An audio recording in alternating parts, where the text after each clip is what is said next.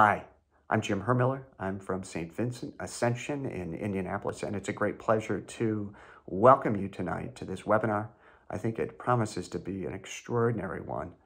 Um, this is in large part due to the fact we've got two Hall of Fame panelists tonight. We're going to really talk about the amulet, how to use it, what are the implications of how it's able to close the appendage. We have Chris Ellis, who comes to us from Vanderbilt, and we also have DJ Lakkireddy, who comes to us from uh, the Kansas City Heart Rhythm um, Institute. DJ is going to talk about LAA closure definitions and correlations with outcomes. Chris is going to talk about really using the amulet. What are the best practices to get the best closures and the safest closures? And we'll have a lot of time for panel discussion. Just a couple of housekeeping issues. The webinar is going to be recorded, so you can uh, really get it on demand later. Uh, submit your questions. We'll answer them as we go along. And then there's going to be a survey to fill out afterwards. We really appreciate it so we can get feedback about how to improve the program.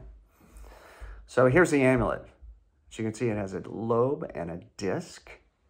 And it's really a dual seal, seal technology. And it results in durable, superior closing results. And we'll talk about those.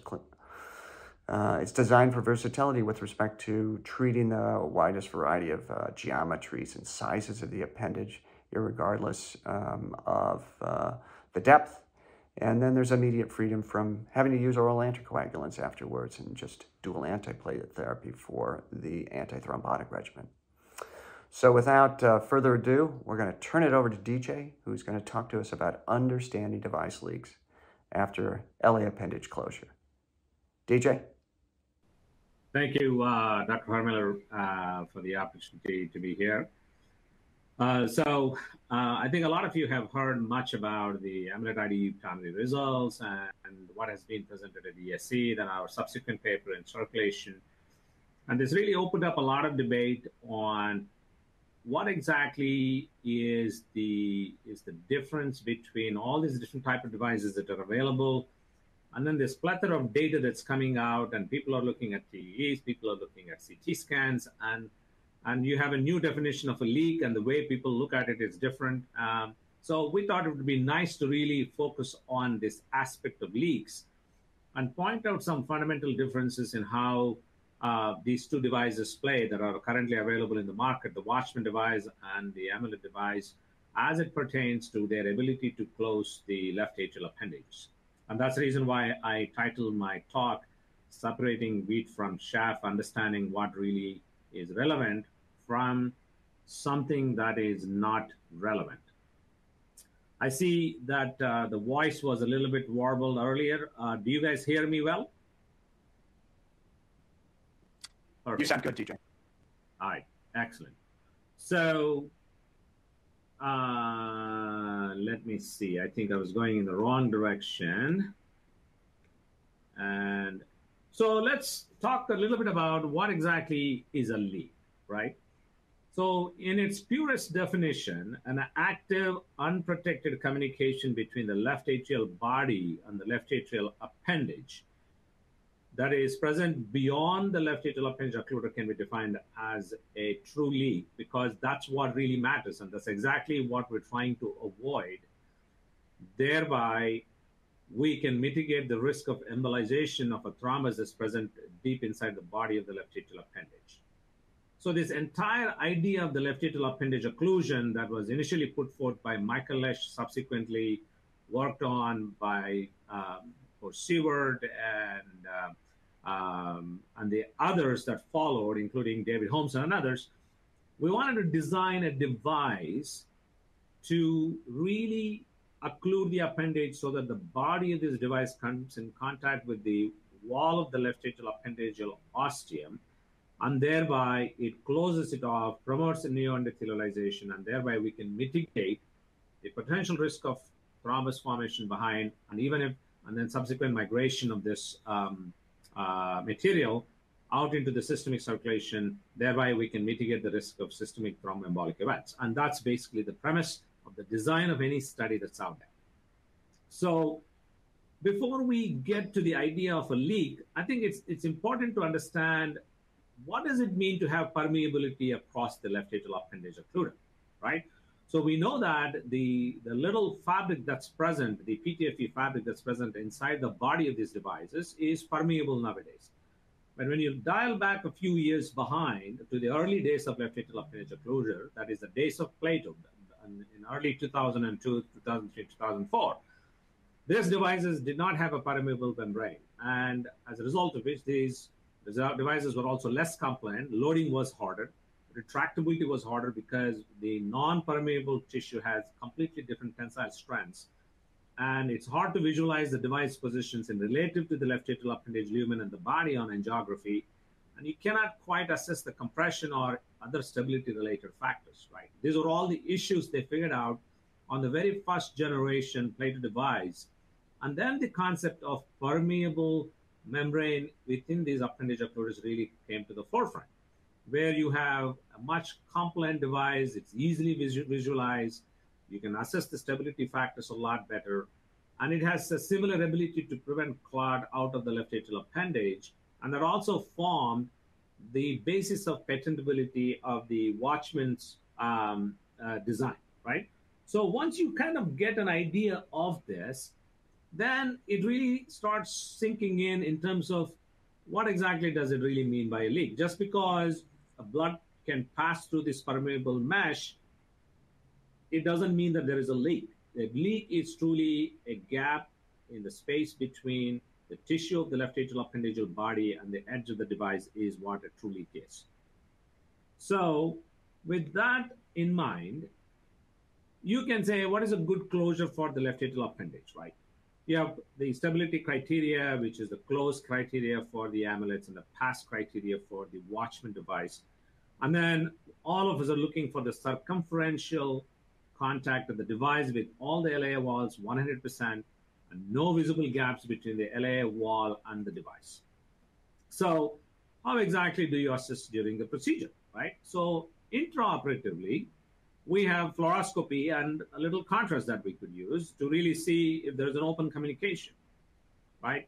It can mostly discern a true gap or a peri-device leak, and it's mostly two-dimensional and it's hard to exactly localize where exactly your leak is when you're doing a fluoro contrast injection, right? Because contrast can flow through the device and it sometimes can look like it's occluded, but you can't quite truly say whether the device is in true contact with the wall or not. You can have sort of gross estimate of what it is, right? And that's kind of where the transesophageal echo, which has historically been used in assessing the left atrial appendage for the presence or absence of clots before cardioversions. And this is kind of, this tool has been around for more than a decade prior to the advancement of these percutaneous appendage closure devices, right? So we really figured out checking the left atrial appendage for thrombus and making sure we rule it out before cardioversion. And that's, that was a natural automatic transition as we adapted this particular procedure, and TEE really became a very convenient intra-procedural tool for us to enable us to how we figure out how we implant this, right? You can mostly discern a true leak or a gap. You can see the blood flow through the device, through around the device, because there is no blood flow through the device. So truly, if there is a gap between the wall of the appendage and the device, you can actually tell it based on the TEE. And it sort of kind of became the gold standard for us one way or the other, right? So that's how the definition and the use of the transesophageal echo really came into being. And as a result of which, a leak around the device, which is the peri-device leak, is what is defined by the transesophageal echocardiogram. It cannot discern flow of blood through the mesh of the device. And then subsequently, we introduced the ICE. It's more recent. But again, it's limited in its views. It's cumbersome we a lot of us have adapted ICE because of number one, out of necessity, you don't have TE operators to support it.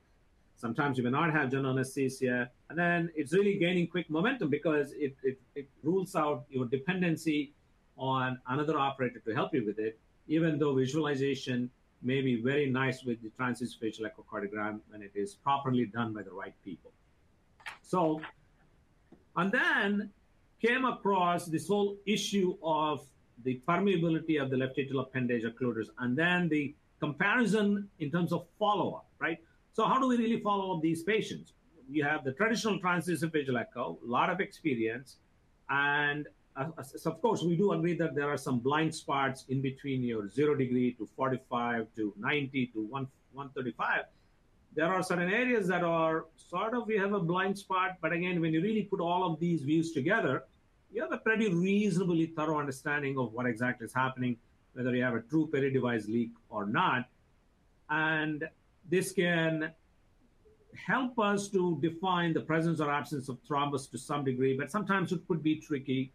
Um, but then again, it cannot confirm the neoendothelialization of the device because transesophageal echocardiograms do not tell you much about what happens because it, it cannot discern the flow through the device. Right?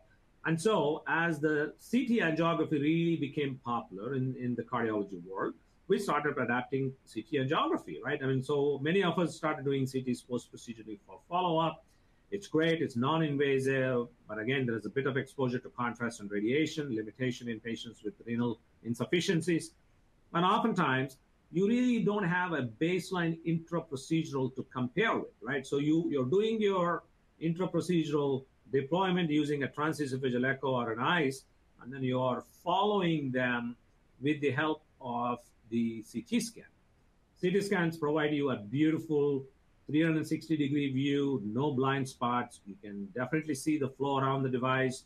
I mean, sometimes it could be a little nuanced, right? I mean, it's again, it all depends on how you're you're looking at that. It can delineate whether there is endothelialization in a surrogate fashion by looking for flow of contrast through that. And probably thrombus definition may be better, especially if you do delayed acquisition with an extra bolus of contrast there. So now you have two different modalities to assess your leaks. You have the transesophageal echo definition, which is the peri-device leak that we all are very familiar with. It's a singular definition. It's a leak and a communication uh, between the left atrial body and the left atrial appendageal body on the side of the device, which is what we defined as a peri-device leak. You can have single or multiple jets. It sometimes is dependent on how you adjust your Nyquist limits. It's well tested. We've produced hundreds of papers on this. And the risk of systemic thromboembolization in the presence of a large leak is reasonably established, uh, even though uh, there are some questions about some of the early data that, that we, we, we will talk about in a second here. And then we throw the CT into the mix, and then a lot of papers came out, like defining this this very interesting way of defining leak, right? Because what the CT angiographers believe in is the is the Hounsfield units, right? I'll show you a CT report that my colleague just recently read to me, and he defines Hounsfield units 128 in the left atrium and Hounsfield units 113 in the behind the disc, Hounsfield units of uh, 120 behind in the lobe and 100 uh, behind in the left atrial body. I'm, I'm looking at this and I'm going bonkers, right? So, what exactly does it mean to me from a clinical standpoint? It may not really mean a whole lot to me from a clinical standpoint, right? So, let's take this most recent paper that came out, which is the um, the Swiss APERO, right? It's a great paper, well done. Uh, but again, the definition confuses the heck out of people. Like, for example, yes, there is a PDL, which is very similar to the, to the TE. Then they have the intra-device leak, which is contrast flow through the device filling the left atrial appendageal body. Then they have the MIL, which is the mixed leak. And then they have the PAVL, which is the patent appendage with a visible leak. What that means is contrast flows through, and you can also see a gap right around the edge of the disc and the edge of the lobe, right? And so you have PANVL or PANVL, which is patent appendage with non-visible leak. So what they're describing here is nothing but an inter-device leak. Essentially, contrast flows through the device, through the disk, and then there is no obvious leak around the device.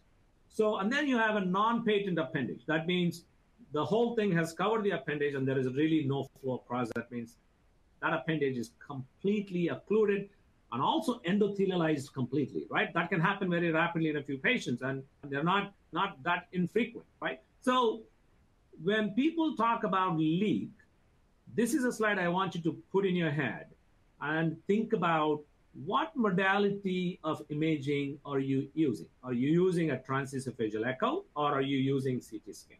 And when you say a leak, what exactly does it mean? To me, all the things that are out there in that gray box don't really matter other than the first one, which is which is peri device leak. Everything else is garbage, right? And then we are trying to reinvent a lingo and a language that confuses the heck out of the people, right? So the implications of these so-called non-peri device leaks is largely unknown, right?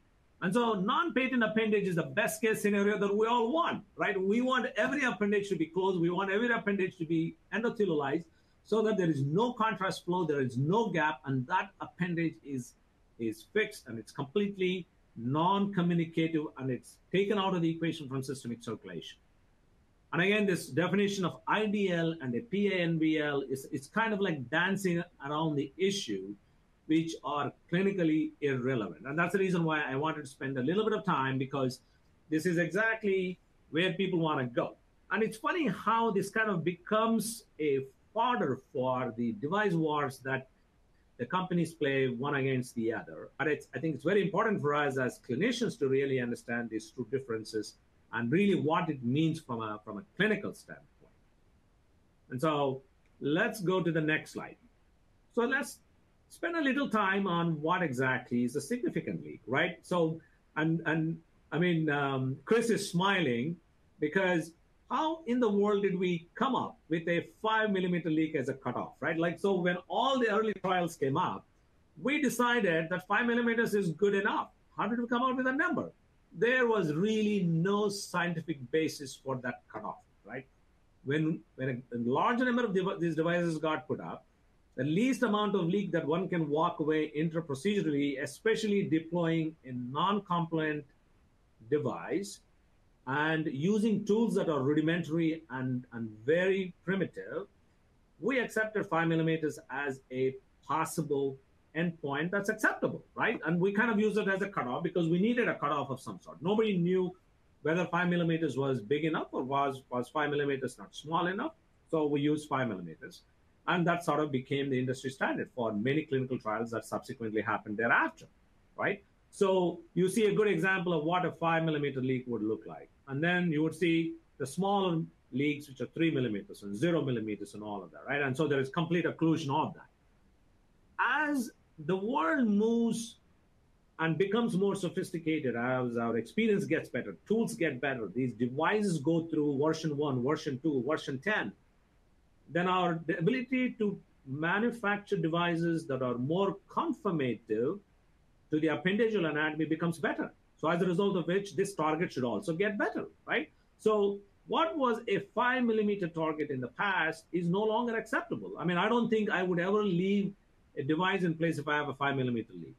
I don't think anybody that's out there on this panel or there in the audience would accept a five millimeter leak as, as an endpoint, right? It's kind of like it's a it's a it's a, it's a no brainer. But at the same time, that's the data that we have. That's a limit that we use. But so slowly the world has accepted that three millimeters is probably better than five millimeters. And in my opinion, zero millimeters is probably better than three millimeters, right? So this is kind of where we, we kind of edge into. There are different classifications. At least this is a rough classification we at, in Kansas City use. When you have a leak of more than five millimeters, we call it a severe leak.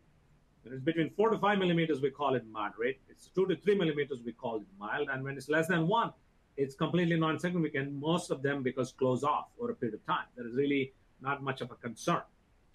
So it's important to go back to this fantastic paper that Randy Lee, uh, my good friend Randy Lee, did in back in 2002. Right, this is a paper on the PLAATO device. They they took these um, um, histopathological confirmation of that. And you see the PLAATO device nicely sitting in there, and you have the endothelium growing over it. And so the histopathology confirms it. And then even the electron microscopy shows the mobilization of the endothelial cells. And you see this beautiful layer of contiguous endothelial cells closing off that um, piece of the PLAATO device, really serving the purpose the way it should be, right? So, but the fact is, one has to remember if you really focus on this particular picture on the left side, this is a Watchman device that never really endothelialized. This patient underwent heart transplantation, so uh, the heart came out. And you see this patient had significant amount of mitral regurgitation with a jet hitting that um, appendageal closure device really impeding the possibility of neoendothelialization. So endothelialization may not be complete in all patients by six weeks or even six months for that matter. That's something that we got to remember. But that is, does it matter? And there is no definite connection to neoendothelialization or systemic thromboembolization or DRT. I mean, it's an assumption that endothelialization is better, but there is no obvious direct connection in any of the trials that we have done so far to show that is the case. So there are several factors that impact endothelialization of a device, genetic factors. There are patients that get these devices endothelialized completely within six weeks, as I've shown you earlier. And there are patients, it takes two years, and still they, have, they still have contrast flowing through that. But does it mean that they are they at risk, uh, higher risk for clot formation, DRT, embolization? No. And we have seen a lot of patients where a device is completely endothelialized, and coincidentally, they get a CT scan or a TE for something else, and there is a big hunkering clot sitting on the device, right? So this assumption that somehow neoendothelialization has to complete to really prevent the risk of thrombus formation is kind of ill-founded. Mitral regurgitation is a problem because it continuously washes off any amount of endothelial cells that get deposited on this device and it will prevent neoendothelialization. We have seen this with many examples throughout. Long-standing persistent atrial fibrillation is a problem because they have a very large appendages and their remodeling process continues. The, there is append, the atrial as well as appendageal dilatation continues, as a result of which neoendothelialization is a problem. When you have a large surface area appendage closure device, right? So when you look at a larger Watchman device or a larger disc left atrial appendage uh, for an amulet closure device, you have much larger surface area. It obviously requires much longer for this for the neoendothelialization to happen.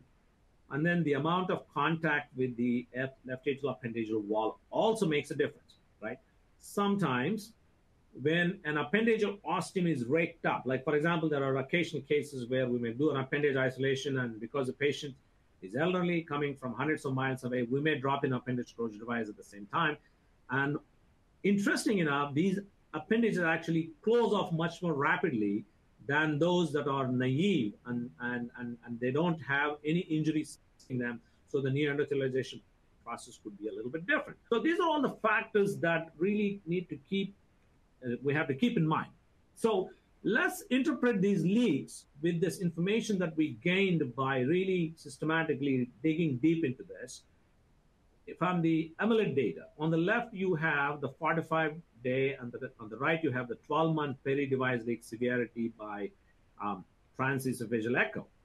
And what you see here is very interesting, right? So we, if you use a cutoff of about say three millimeters and above, in the Watchman arm at 45 days, you had 26% of the patients that had a significant leak of more than three millimeters, as, as against 11%. And that number didn't change a whole lot even at one year. That is 10% versus 22%. Both of them are significantly different between the two.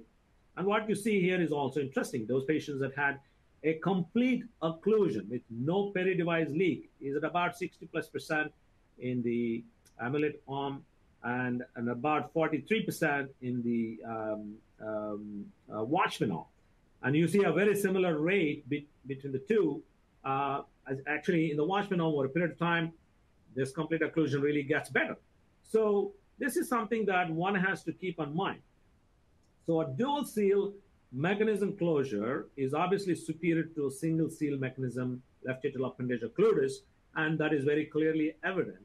And that I think is slightly better with the Watchman device, but in clinical experience, we still see the leak rates are, are still a problem, right? So that's something that, that we got to think about. So let's look at the Swiss APERO data.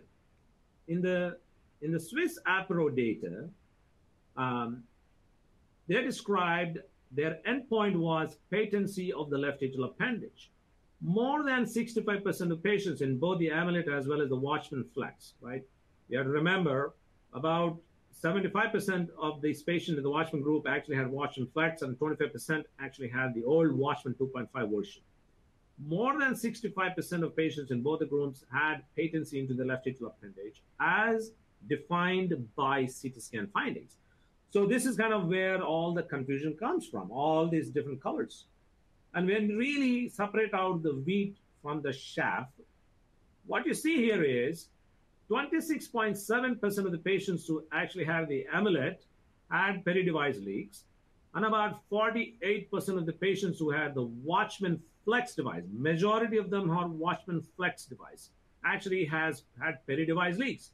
And when you really run a quick statistical two by two analysis, that p-value is definitely significant, right? So over analyzing data that is complicated, irrelevant, it makes actually things worse. When when this paper came out, people are, oh my God, left atrial appendage closure devices don't work. There are a lot of leaks, and they really don't make sense. And if you really separate the wheat from the chaff, the wheat is only 26.7% versus 48%. That is no different than the experience that we had so far, whether it is Watchman 2.5 or Watchman Flex. So I'm actually surprised that 48% of Watchman Flex devices actually had reasonable leaks, leaks that are relevant, right? Three millimeters or less, uh, or, uh, or, or, or around that, right? So that is something that I, I really wanted to point it out and we really analyze this data. Let's look at another study, the Seal Flex, right? Again, study raked up so much controversy in a very short period of time. I'm still surprised why it never came out in publication. So this study came out and showed that 69.5% of the patients in amulet arm versus 27.4% actually had a complete, I mean, had a PDL at eight weeks per CT scan. This suffers from the same over-analysis of irrelevant data. And when you really look at this peri-device leaks, right, and, and added up everything, number one, the numbers don't really add up. The definition of leaks is based on contrast permeation and not real leaks, right? Again, we know that mere contrast permeation without any peri-device leaks means lack of endothelialization, allowing for the contrast to flow through which has no implication on strokes and which has no implication on DRT, which has no implication on any other clinical outcomes. When you crunch these numbers, it doesn't really quite add up, right? So you have 69.5% versus 27.4. And when you add up these, it's 74.% 16%.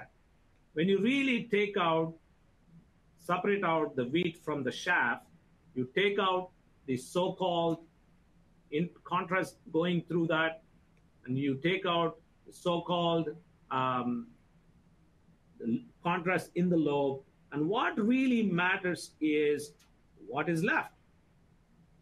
The people who have contrast around the device was actually much lower in the Amulet device than it is with the Watchman Flex, 10% versus 16%. And then compare that to this fearful number of 69.5% versus 27.4%. It makes absolutely no sense. So what this goes to tell you is it all depends on how you look at the data. And when you really carefully analyze this data, the truth comes out and there is really no meaning to this particular paper. So I just want to kind of highlight to this. So let's look at um, different anatomic variations, right? So we have this dual lobe appendages. You have a very large appendage. You have appendages that have proximal lobes, deep trabeculations. All of this still continue to pose a problem to the Watchman Flex as they did to the Watchman 2.5 version, right? It's it's more malleable. It adjusts itself a little better. We're doing a better job at it because we're more experienced with it. The device is more compliant. It helps us answer some of these questions. But these issues of dual lobes, deep trabeculations, proximal lobes, very large left atrial appendage, it doesn't go away. And the leaks that are related to that still continue to be a problem. So we need to figure out a way of how to answer that. So let's do a little sort of a cartoon issue of this, right? So you have an appendage that looks like this with a deep proximal lobe. And you put in a device, you have a big leak, and you say, okay, let's upsize this device and let's come back out a little bit and deploy it a little more proximally. And at implantation, it looks like it looked great. It has nice approximation. There's no now flow going through on TE.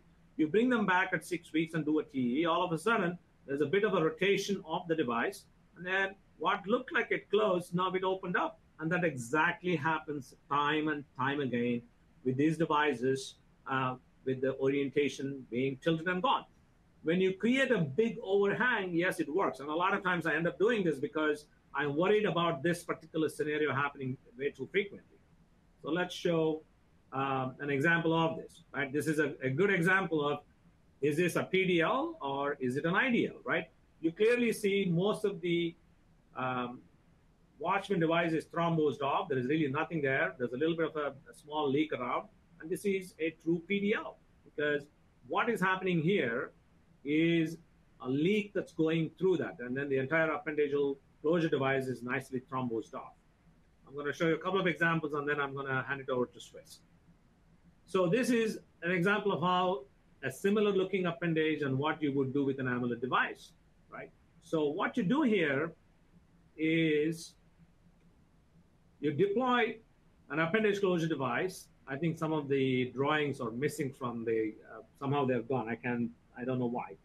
So in this particular case, you deploy the device in a little too deep. It is misaligned. You have a large crest here, and the um, disc is not really helping you.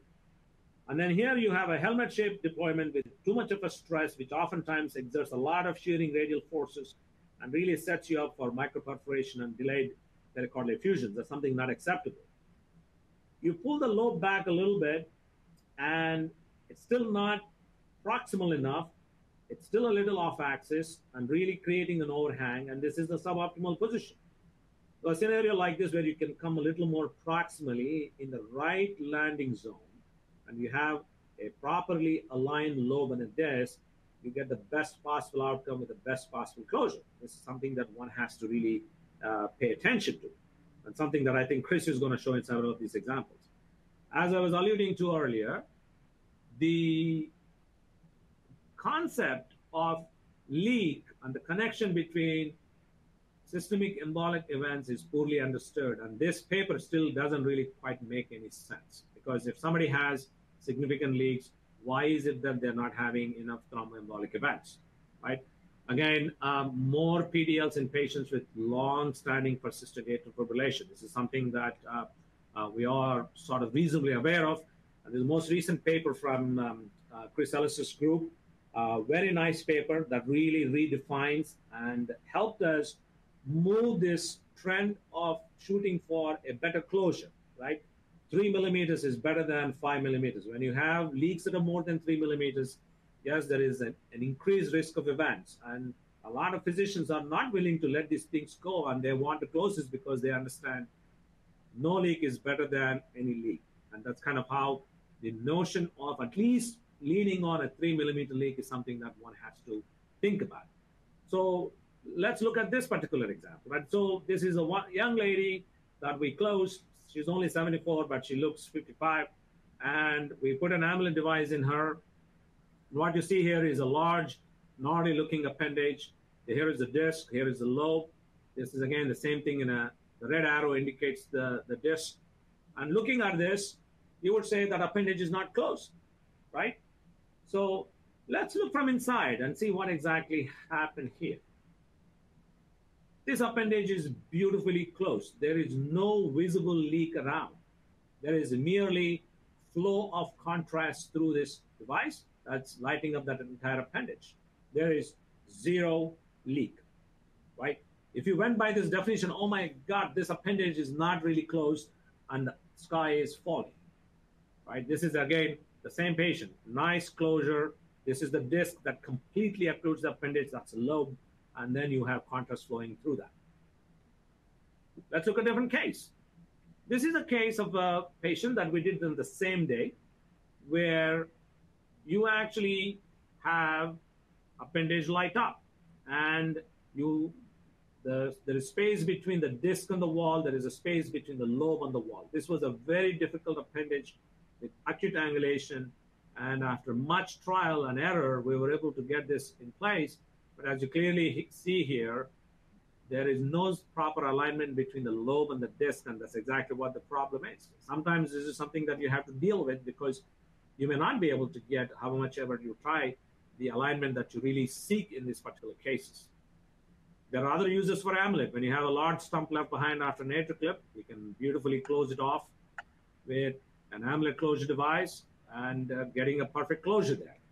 So I would like to summarize by saying that work on proper technique, understand there are two separate different devices, and the amulet occluder with the dual seal mechanism has the ability to treat a wide range of anatomies and understand the difference between a true leak and lack of endothelialization.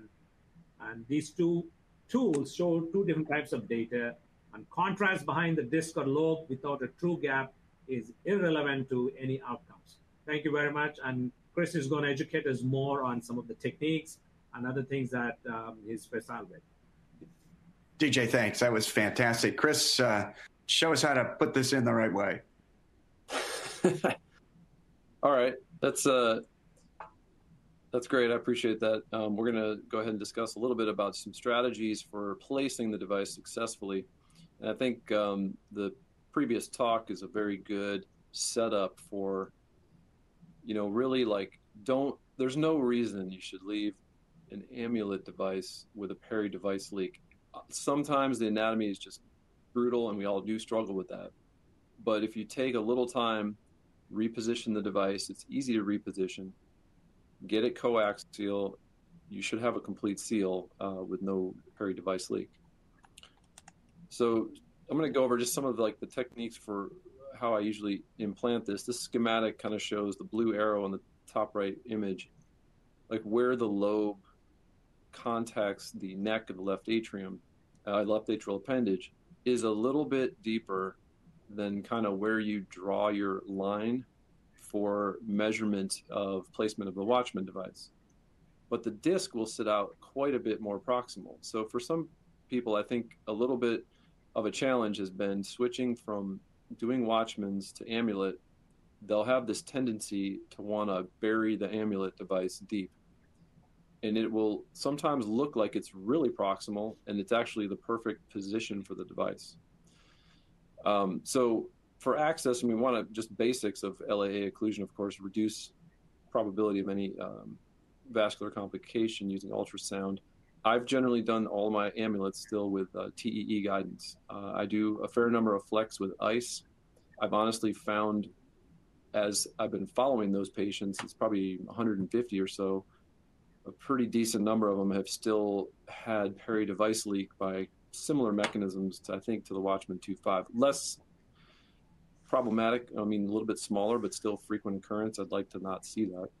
Um, so I'm actually switching back most of my, I think some of it's the ICE guidance. I, am switching back to doing TEE for the majority of my cases uh, with both devices. Uh, we usually do general anesthesia. You want to target that left atrial pressure over 10, exclude thrombus, and keep the ACT over 250 before delivering the device. Um, you have to be a little bit more attentive, I think, to the valve, the sheath, and the duration of which you have uh, the device like inside the sheath. If there's any, you know, bleed back and you're just sitting there for a while without deploying it or waiting, um, you know, it's like you could get throm- little thrombi form inside the sheath or on the hardware. There's a lot more of it. It's a more dense device than the Watchman. Um, it's kind of like two devices. Um, generally, we're planning for DAPT after implant. So, you, you know, we just hold the NOAC the morning of the procedure, anticipating that by the next morning, basically the drug will have washed out. So, there's been some debate about that in terms of the pericardial effusion concerns. And my general plan is keep them thin until they come in, stop drug that morning, switch to DAPT, and then you know home they go without uh, further systemic anticoagulation. The sizing of the device, I really like doing a pre-procedure CT, uh, but intraoperatively we're using, of course, TEE. So we always have to negotiate a little bit between the two imaging modalities about which one we're going to use for the ultimate sizing of the device. Uh, but generally, you can cover from a landing zone measurement of 11 millimeters up to 31 millimeters uh, with the available um, eight different amulet sizes. Most sticks for the transeptal, I use a VersaCross sheath uh, and go pretty much mid or a little bit mid anterior on the 45 degree view, but always inferior, like as low as low on the septum as I can. Uh, that always helps uh, positioning the device. And the real key to amulet is putting the lobe coaxial to your landing zone. If you do that, you'll have basically stable device and four layers of device to help occlude the appendage pretty quickly. Um, so I'm going to go over one case in a bit about uh, an off-axis device and why that's important to take the time to reposition it. Here's an example of our TEE measurement uh, angles for Amulet, and it's definitively different than Watchman. You can see the red line is basically my landing zone. In this particular case, the landing zone measurements go from 17.1 up to 22.6. That's actually relatively round. You know, this is a 25, 28 millimeter device size. Um, 22 is probably too small, but it might actually be okay. So you can often have multiple devices that'll fit for the measured um, landing zone, but in general, we're trying to stick to the measurements pretty closely in terms of sizing and not, you know, just generously oversize every device that we put in. Um, the yellow arrows indicate the true ostium from the tip of the Coumadin ridge to the sort of mitral valve annulus aspect of the LAA orifice, and that's where the disc will sit.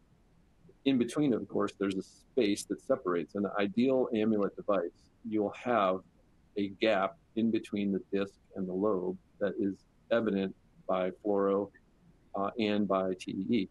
And that's partly due to um, tension between the distal aspect of the anchoring mechanism of the lobe and the proximal aspect of the cupped or concave disc in the left atrial wall. When you separate that out and stretch it out, of course, there's, as DJ's mentioned, there'll still be some permeability of contrast through that, but it's not an embolic stroke risk uh, in terms of like thrombus coming out of the LAA. When we navigate the device, um, pretty comparable, I think, Flex. You know, I basically park the sheath close to the ostium of the LAA, load the device, unsheath to the ball position, um, and then from the ball position, that's sort of your navigating position. So again, the red line is sort of my land is the landing zone. You can see where the circumflex is. It's like a landing zone. That's a, if you put a watchman there, you'd say, oh, it's probably a little deep, but that's that's the target for where we want the lobe to anchor.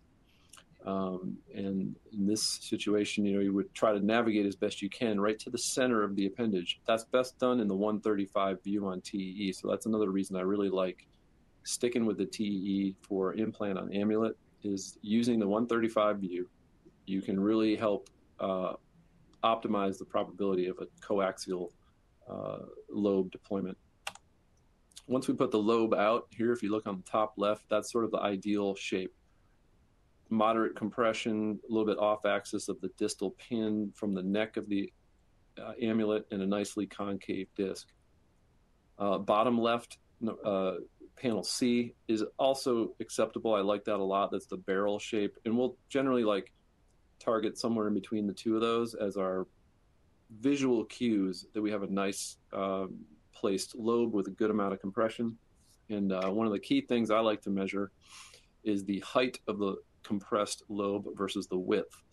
And once you get on the two right side uh, images, the length of the lobe is beyond the width of the lobe. That's probably too compressed, and that likely needs to be repositioned. It's either sub-selected some distal part of the LAA or small lobe, or it's just too big of a device, uh, and you need to downsize. Um, so, so the two on the right, I would reposition uh, potentially because I think the lobe is too compressed. The two on the left, that looks appropriate. Repositioning is not difficult. On this uh, example, we have a nice little bare metal stent, probably like a two millimeter stent uh, in that circumflex. So it's a good marker for um, the orientation of, of, where our landing zone is, is, is targeting at first, this lobe looks a little bit off axis. You can see it's sort of tilted. So we just pull the cable in with the sheath up at the lobe, pull it back to the ball position. And more times I've watched this, I can actually see the anchors fold over right to the edge of the sheath right there. that's when the anchors have disengaged, and now you can freely, uh, you know, rotate, advance, and reposition uh, to your target location. I think um, when you get to that position, this is sort of uh, ultimately exactly how you want the device to look. It's not always going to look this way, um, but this is a very good uh, compression of the lobe. Again, the pin and the neck are are in a different uh, orientation from each other. The disc is cupped and it's uh, concave, and there's nice separation, really nice separation between the lobe and the disc. I think when you see that, when you release that disc and it cups and pulls back tight to the LAA, uh, there's like no probability that that's going to leak. Now, in terms of a true, true peri device leak, it may take time for it to endothelialize all the way, but you won't leave a leak uh, that's relevant. This case, these these are examples of where the disc, when the disc is released, uh, if it tucks under the Coumadin ridge too far, uh, and these I've measured the angle somewhere between sort of that 30 to 60 degree range. It may be setting up a small area where there's really stagnant flow uh, on the edge of the disc and could potentiate a possibility for a DRT or a device related thrombus.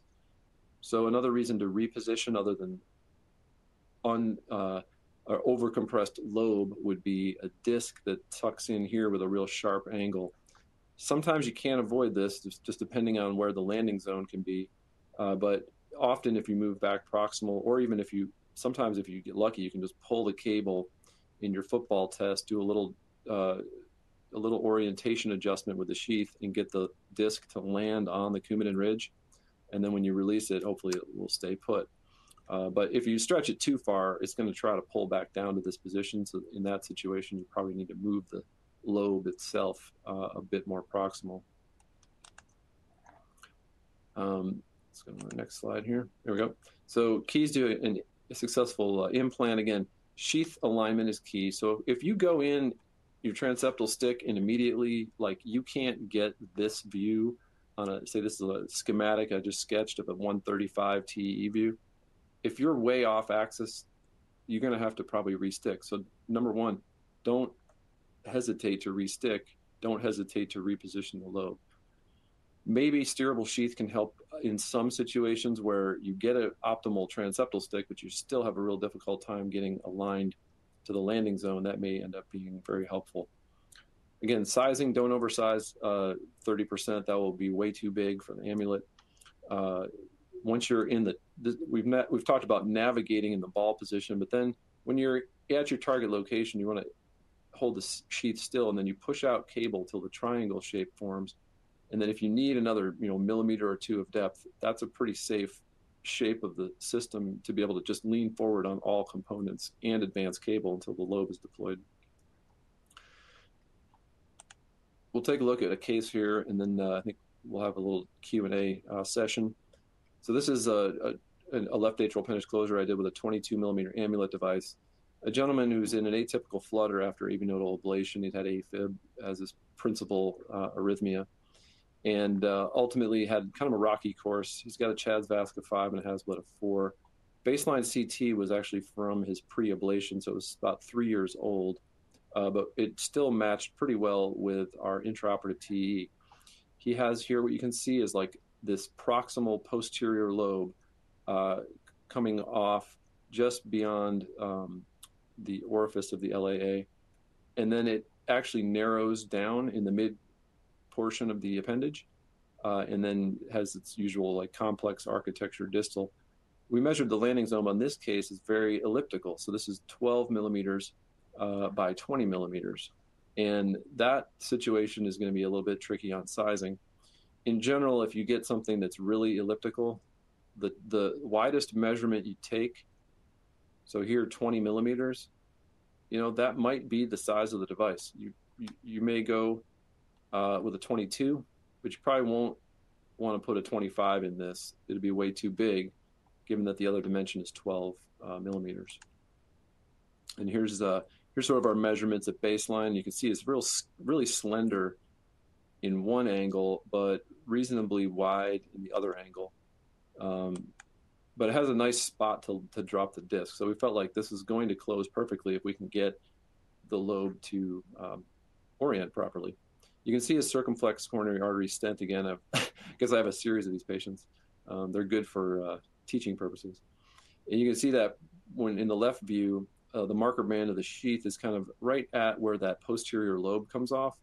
And so you're gonna have to make this this decision like where is this lobe going to sit? Is it going to slide into that uh, posterior lobe? It may turn it sideways a little bit. Are you going to anchor it way deep? We don't really want to put it too deep and end up with that uh, sharp angle in the Coumadin ridge. We want it to stay up high on the ridge. Uh, but you see the schematic drawings down below, pretty much where like the red line is kind of not where I want to put it. And if you size to that spot, you're going to be picking a pretty large device uh, compared to the optimal landing zone. The uh, yellow line is sort of like where we want to put this device. So in the first go in the in the top left corner, you'll see I go from triangle again, leaning forward, advancing cable. It goes to a helmet-like position, and then the back of the lobe actually retracts forward, so it moves like right there, and then boom, moves forward. That's in the top left panel anytime you see that, I, I don't like that. If the lo- like the lobe when it, when the lobe gets trapped, it should just be still. Uh, if you put the lobe out and then like a second or two later you see the thing move, it's not really going to be a stable position. And then when I do the angiogram in the bottom left, I really think that for for all your early implants and when you start doing this, very very nice and an important thing to learn from. Once you place the lobe, go ahead and do a shot through the sheath before you put the disc out. In this situation, on the bottom left panel, you can see that part of that lobe pulled into the posterior uh, aspect of that appendage lobe. And it's kind of like a tough thing. It's the amulet lobe and the appendage lobe, two separate things. Uh, but there's tons of contrast. Like the contrast just flies right through the device. It's like not even close to, occlus- to occlusive. The lobe itself should be pretty occlusive. When you have it in the right position, you shouldn't see a ton of contrast go through it unless you're injecting really hard. When I put the disc out on this as well in the top right video, you can see again that the lobe moves further out when I put the disc out. And so that's like another, that's almost a stronger tension test than anything is probably putting, when you put the disc out, a lot of times the unstable lobe will declare itself, uh, I would say, at that point. So again, we recapture him and go back in. And again, we're going to try to target just a little bit more proximal location to get this lobe to pinch between where you can see the circ on my bottom right diagram straight across to the lobe. And you can see that the top right video, this looks, it's the same device, okay, but it looks distinctly different. When it opens up, boom, it's squeezed nice. It's got that moderate compression, not a helmet or barrel shape. And it's right uh, smack at the landing zone.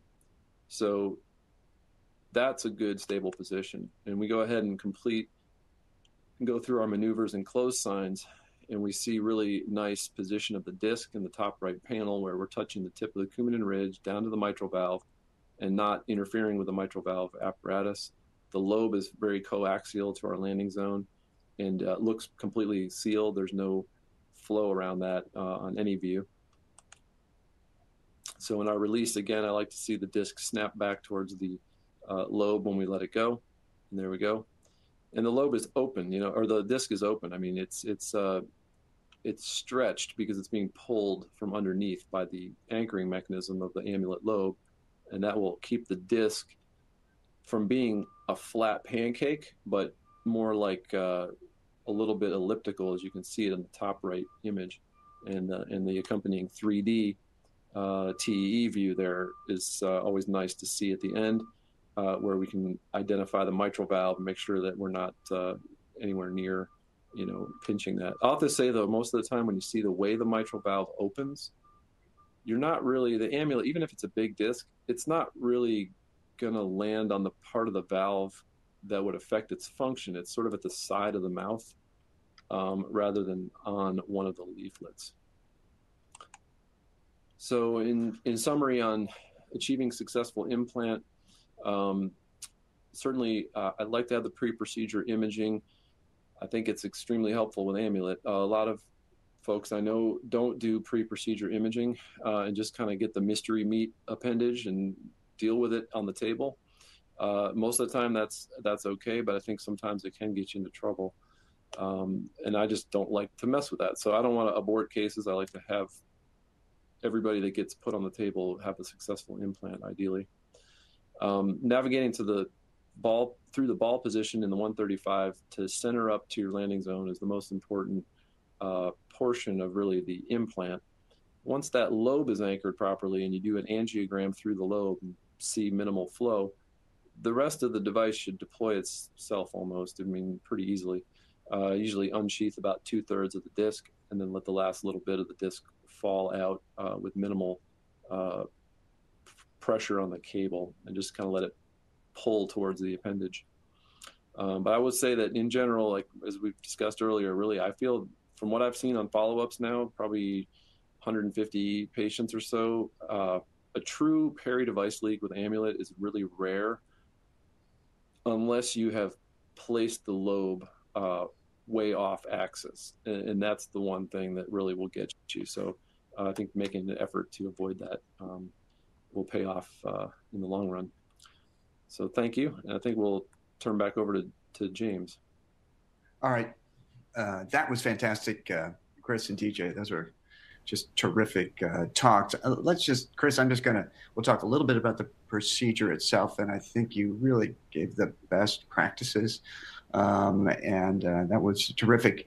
You know, early um, in any uh, experience with devices, and we saw this with uh, Watchman, and we saw in the pivotal trial uh, with you know very early experience. There were a few pericardial fusions. Could you just uh, kind of address that? Uh, you know, what do you think ways to avoid that? I think you showed us how to put an amulet in the right way, but any comments about that? Yeah, I mean, I think yeah, it's a, an important question. It comes up a lot. Um, I don't think that the numbers are always quite the, as bad as they seem to get presented, but definitely early learning experience with a bunch of people that are used to burying a sheath down in the tip of the appendage and putting a Watchman 2.5 in, that probably just that pattern, that behavior, I think the, the muscle memory of that may have set up some of those earlier fusions.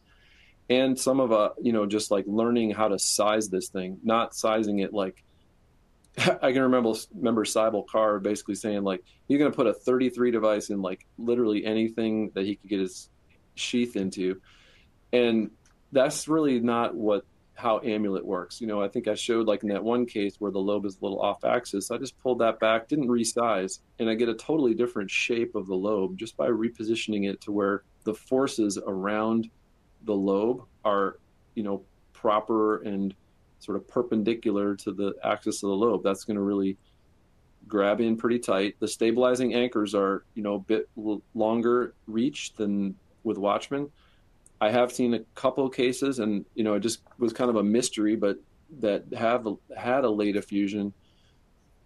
I haven't had to re, I haven't had to do anything other than drain that before. Like it just stops. Um, all those patients were on DAPT, uh, you know, which is just I think pretty much what we're doing with all the amulet implants. It's the same as it was in the IDE trial. Um, but like I haven't had to do any surgery on these at all. It's just kind of like maybe a slow ooze sometimes, and it doesn't always show up right away. I don't know. Maybe DJ can comment on his pattern of um, like commercial implants now. Are you doing a surface echo on everybody, you know, before discharge, whether that's same day or the next morning? Uh, and then what do you do with that information? Um, you know, you really are you going to change the regimen or put them on colchicine or or, or what? Be, I'd be curious to hear. I I still do an echo. I mean, routinely. Um, I think it's, just a good practice, uh, and that also standardizes the procedural follow-ups for everybody on the team because throughout our organization in Network AC, we have seven implanters, right? And not everybody has the same level of experience and comfort with these devices. So, um, and that's the reason why we will uh, we will do the echoes. I, I think to your point, Chris, multiple redeployments, I think, is a major problem. So appropriate sizing, knowing your anatomy ahead of time is better, and and and, uh, and also the technique people use to get the lobe back into the sheath, I think, is very critical. I mean, you you showed it very beautifully how the traction counter traction mechanism to really put, gently pulling those anchors back in is the key. And, and many times people just pull it back and they're used to this uh, Watchman Flex device, so they have to remember that this is not a Flex device. It's a it's an amulet and it behaves differently. So. Yeah, and I think I, I think I think people people, people tend pull... to get that ball too too deep, and then and then they'll they'll start to rotate this with the anchors not really pulled up. I mean, they're in a triangle and they're they're rotating, and you know that's bad. Yeah, when you um, pull that back, you really want to get that to almost a tight ball, before, and then and then it'll loosen up. But otherwise, sometimes you get the anchors caught in there, and you're sort of dragging the appendage while you're trying to move the move the device. Um, let, let, me just ask uh, both of you another question. DJ, you can start this off. Uh, just a great kind of review on leaks. Um, given that Amulet, um, you know, only requires DAPT, a um, couple questions about follow-up of these patients. Do you still just do a 45-day look? Do you do a three-month look as your first look? Um, and then two, um, are you doing that follow-up look with CT or with TEE these days? So uh, I haven't changed my practice to three months yet uh, because we started this uh, follow-up registry for all of our patients, both the TE and CT. So we do a CT or TE at uh, six weeks, um, 90, I mean six months, and at 12 months routinely. Uh, uh, because it just gives us such valuable data that we, we could um, we could we could use. Um, in terms of whether CT or TEE, uh, if there is a patient that comes from a TE operator who's part of the appendage team and they would like to do TEs on these people, I, I, I go ahead and order TEs on these patients. And rest of the people, we use CTs uh, pretty widely, uh, especially elderly patients and patients where we don't really want to put them under general anesthesia and the issues of um, um, esophageal strictures and stuff. Uh, so CT has been very helpful. But then I had to educate my CT yeah. readers quite a bit because of the craziness that comes out of it in how they interpret these images. Yes, yes. Yeah, you get everybody's got a leak, right? And they don't. They don't have a meaningful leak. Um, and uh, Chris, I think you know you and your paper, um, uh, uh, Afzal, uh, and you, um, and kind of the follow up of patients that do have a leak um, any difference with Amulet compared to uh, Watchman in terms of if you do find a leak, although it's very uncommon you find a leak with an Amulet? Yeah, I think, well, based on, like, I think that one uh, picture that DJ showed where there's like the, I have like a little schematic in this latex mm-hmm. model with the Watchman, and, and you can see how the crescentic nature of that leak um, is sort of, you have to kind of glue it closed with coils you can't really access that kind of leak in an amulet if it's under the disc at the lobe, which is of course the probably the leak that really matters. Most of these little edge leaks, I've actually seen several cases, and I think this is a nice point to one of the anatomic questions I saw in the in the chat box. When you have a lot of irregularity to the Coumadin ridge, and there's all these little pits along the edge of it, you know the disc when it's first deployed, of course, is is sliding along the wall of the left atrium under you know constant cardiac contraction. It's not actually like glued closed from the get-go. So sometimes you'll see just that sliding along the Coumadin ridge side will open up like little you'll see a little flow around the disc. And most of those that i've seen at most of my follow-ups are, are 90 days for the post implant when they come back at one year it's gone. It's really interesting. So the little inter-device leak around the disc on Amulet, I think the difference is it'll seal itself off as the device continues to sort of fibrose from underneath and then gradually stops moving, and then the walls can endothelialize, right? So if it's constantly mobile, you can always have a little bit of flow picked up um, on TE or CT. And then um, I think just I haven't had to do any peri-device leak closure with Amulet, but it's I can't say that I don't have any that I would think about it on, but it was like not. I just I don't have any experience with it. It doesn't seem to be the main issue. Um, The main issue is just like at implant do you get it put it where you want it and if you do it's mostly not going to be a problem down the road what, one thing i think dj probably can also appreciate is like sometimes you put a flex in it looks perfect at implant and then like they come back in three months and they've got a leak and you're like there's nothing you would have done differently at implant. It's just sort of like as the device remodels and the and the atrium changes and maybe the device just sort of contours a little bit over time little cracks open up and you, and you see the flow but you don't see it at implant. So so uh, just a couple questions from the audience um, and then we'll probably wrap this up.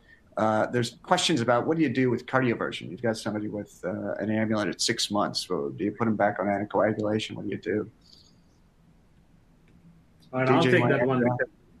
We we published a paper on that issue. So anytime you have somebody in front of you that you want to cardiovert, you should always worry about the possibility of a big leak and the possibility of a thrombus on the device, right? So uh, our recommendation is do a TEE and make sure there is no thrombus and there is no large leak. And if, especially if somebody has a large leak and a big thrombus behind the device, even though the thrombus may not be on the device, then you are embarking on a potential risk of embolization in this patient. So when you don't have any of these and it's relatively clean, you can actually cardiovert the patient without any anticoagulation. We have done it many ways. We cardioverted patients uh, by giving them anticoagulation and kept them on anticoagulation for four weeks. We cardioverted patients without anything and followed them with absolutely no issues. So we're pretty comfortable to say that if you don't have a significant leak and there's no DRT uh, on TE, cardiovert them, and you may just be fine not anticoagulate them at all. That's at least our practice, and, and, and we have done a lot of these cases like that, and we had no problems. All right. Well, this is going to be the last uh, question, um, and it's about anatomy. What, what, what anatomies, Chris? Amulet versus Watchman, and you know, you, you get the final word.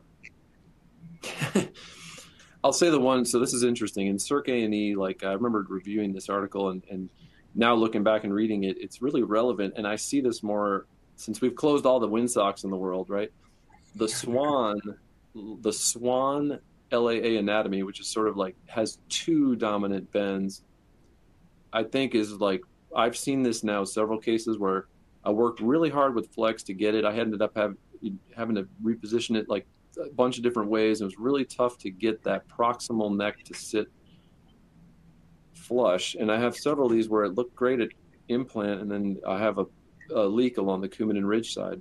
And so, um, one specific anatomy it's, is, is the swan, and you have to look that up if you're not like familiar with it because it's not the classic chicken wing windsock morphology description, but it actually looks like that's also the appendage anatomy that has the highest um, observed stroke risk. So uh, the amulet works, I think, great in that because you can kind of just go into the proximal part, anchor the lobe, and the and the disc does help you a lot when the proximal anatomy of the appendage is really complex.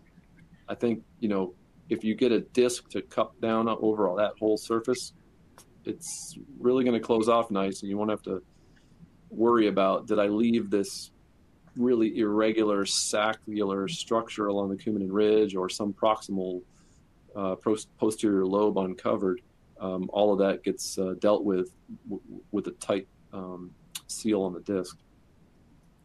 So that's okay. that's one anatomy at least that I've seen it's quite useful for. All right. Well, I want to thank you too. That was just uh, fantastic uh, information, terrific presentations. I think uh, very instructive. Instructive. Uh, the webinar uh, again, you can get this offline once this is all done and review. And uh, thank you all for attending, and everybody have a great evening. Thanks again.